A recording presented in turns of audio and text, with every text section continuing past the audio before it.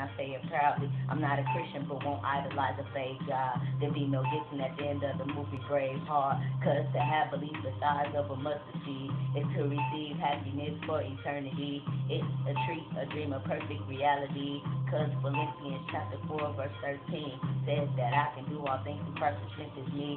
But then two weeks passed and the devil's busy. Cause I find out that my pop's been in the robbery. I'm like, damn, I remember that first one, but that's Pop's third time at the barrel of a gun. Shit, it took me back to 03. I lost my bro in a drive-by on 84th Street. Losing my mind after being shot in both knees.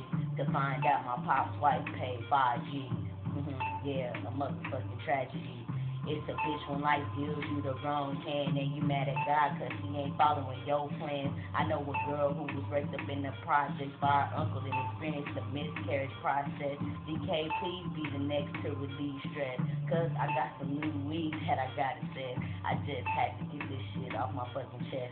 And all you hoe ass will just break out your Sunday best and be prepared to meet Jamaica at your final rest. Cause I'm playing Saw and y'all my dummies for this crash test.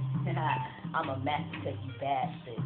I'ma have you matching colors like a Rubik's Cube and watch your breathing faint as I stab out your urethra tube. To spend the next hour cleaning blood off my shoes and pull out my canvas to paint my new pic of you. True. That pic I just painted was hard to swallow. Headless like Sleepy Hollow, I hope you follow. But if you don't, fuck you. Grandma too. hey, that's what's up. I'm feeling that, bro. Bet that.